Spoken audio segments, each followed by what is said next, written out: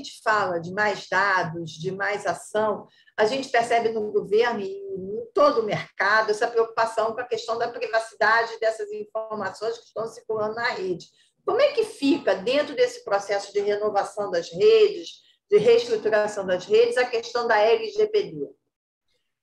Bom, é, isso também é algo que mudou bastante aí nos últimos dois anos, né? É, com a possibilidade dos funcionários trabalharem de forma remota, no governo, inclusive, que não era algo muito comum, é, mas hoje já é uma realidade. Esse trabalho híbrido já existe no governo é, de forma crescente, e isso fez com que também era, fosse necessário repensar a forma que o governo trata a questão da segurança é, era muito comum ainda pensar em questão de segurança perimetral. Né? Meus funcionários todos trabalham dentro do, do, do meu órgão e eu vou me proteger daquele usuário, daquele atacante que está do lado de fora, então vou fazer um investimento bastante pesado em soluções de firewall, de sistema de prevenção de intrusão, mas muitas vezes a, a, a segurança para dentro da rede era bastante deficitária. Então, é preciso repensar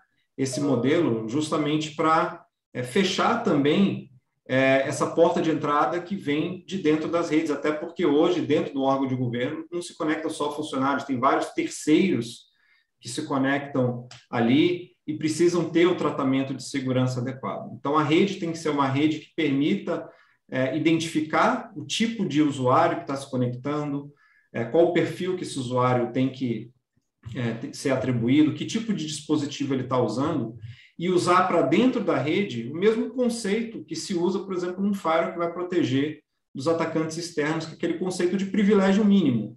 Cada usuário que se conecta à rede tem que ter direito a acessar somente aquilo que ele precisa para exercer suas atribuições. É algo que a LGPD, inclusive, trata, no sentido de reduzir a exposição de risco. Né? É, e a partir daí eu consigo minimizar a probabilidade de ocorrência de vazamento de dados de dentro da rede, o que é algo crescente também, né? não só a partir de acessos indevidos, né?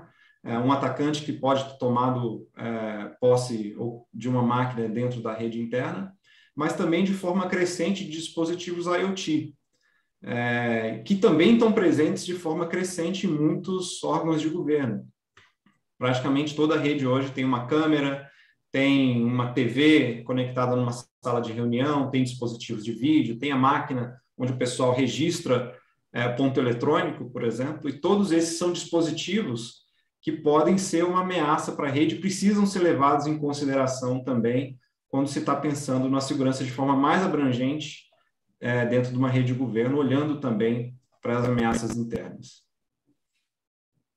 Você coloca de uma forma muito clara que o momento é de repensar as redes de local e de longa distância do governo.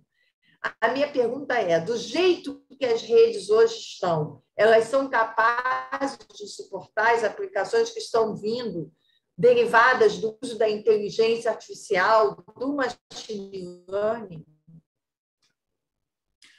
Olha, boa parte das redes que a gente vê no governo hoje são redes que foram adquiridas aí há mais de cinco anos atrás, que não foram preparadas para lidar com essas novas aplicações e com essas novas essas nova uh, forma de tratar a gestão das redes utilizando inteligência artificial. Então, muitas delas precisariam ter uma atualização para tirar proveito dessas tecnologias. E inteligência artificial é algo que é, ajuda a baixar muito o custo de propriedade e de operação dessas redes. Muitas das tarefas que eram feitas manualmente é, passam a poder ser feitas automaticamente. Como você comentou, é, o governo tem tirado proveito dessas tecnologias de inteligência artificial em outras áreas, né?